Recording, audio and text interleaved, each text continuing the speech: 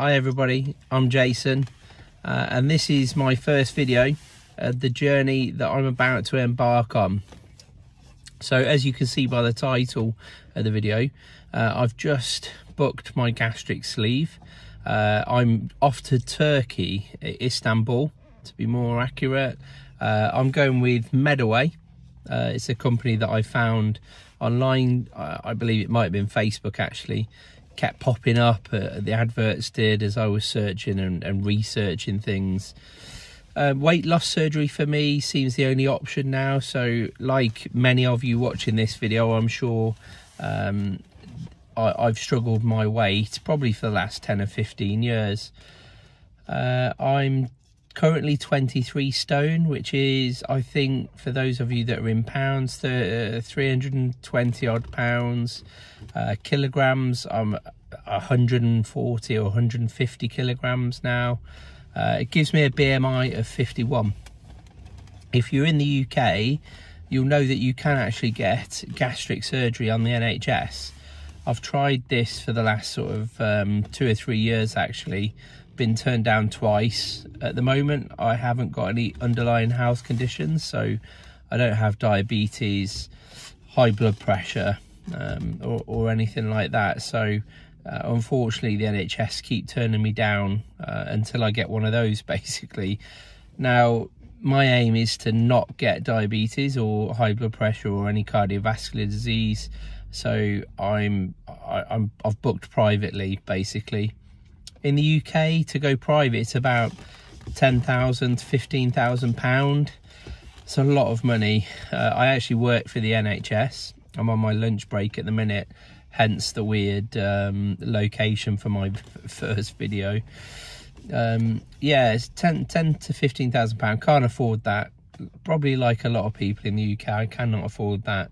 Uh, I've got a family I've got two children you know that's that's one of the main reasons for me doing this surgery. I, I want to be alive for for my children growing up.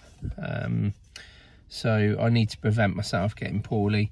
Anyway looking into it i found that i can go abroad. Um, 2500 quid i'm paying.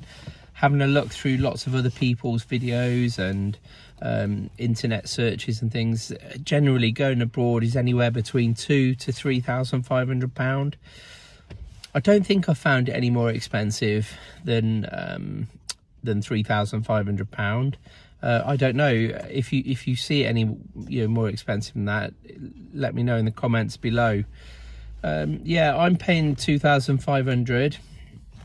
The the process and and the reason for these videos that I'm going to do is one for my own diary and also to document how and what it's like for me going abroad I think that might help other people in their journey, especially if you're going abroad, you know, Turkey um, or, or anywhere else. I know you can go to Mexico and other places, but if you're thinking about going abroad, then maybe my videos will help you uh, and explain what that process is.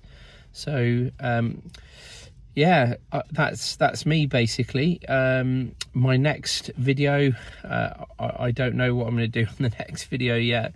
Uh, I, I, might document some of the plans I'm doing with regards to getting my own health checks, blood checks, and, and things like that.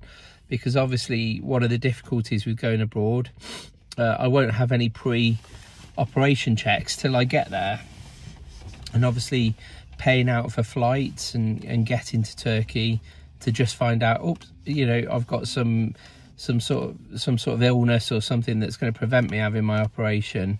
Uh, that's going to be a catastrophe. So I don't want that to happen. So my GP surgery has been really wicked, and and they've actually uh, done some uh, blood tests for me. Um, so so I can have those checkups already. The surgery I work at, I work at a different GP surgery. They have uh, done my blood pressure, ECG, and things like that. They're normal. Um, so, providing my blood's come back um, normal, then yeah, health wise, I should be okay for the operation. My operation's booked for the 14th of March, so five weeks today. Yeah, there's um, a pre operation diet that you have to do, uh, and I'll probably tell you about that in my next video. Uh, anyway, for now, uh, if you like what you've seen so far and you're interested in watching some of my other videos, please hit that like button. Uh, feel free to subscribe. I'm going to start uploading videos certainly uh, every time something happens that's quite interesting or people might find useful then uh, I'll, I'll upload another video uh, if you need if you need some information on um, flights things like that how I've gone about finding cheap flights uh, or any other details just please ask me in the comments below and I'll help as much as possible. Thanks very much for watching